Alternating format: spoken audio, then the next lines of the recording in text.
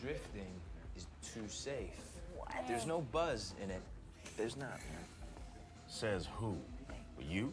Come on, Amy, back me up. Uh, well, I kind of love it and hate it. Like, it hurts me to hear it bouncing off the limiter like that, but, but, I do get a rush when I'm holding it at that sweet spot.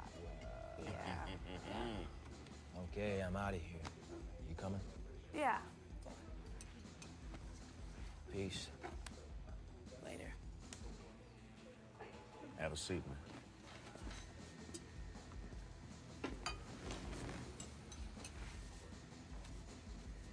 He hates on the drift for one reason only. He sucks at it. Oh. You need a certain finesse to hold that slide or hoon with precision. It's all about riding the tipping point. Am I right or am I right? You're never wrong. Look, I get it. Apples and oranges, you know? Ah. You see, Robyn here, she's got class. Got that steady hand. Hmm. Spike? He be yanking on the e-brake like a teenager fresh out of driver's ed. Come on, he's not that bad, Manu. It's just a good thing his old man has deep pockets is all I'm saying. Look, we've been talking too much. I'm out.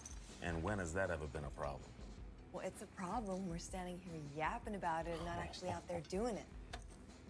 Look, I'm putting a little something together. Nothing concrete yet, but you've had enough zen. I need a little noisy chaos. cool. I'll give you a shout. Later. Always ahead of the curve, that girl.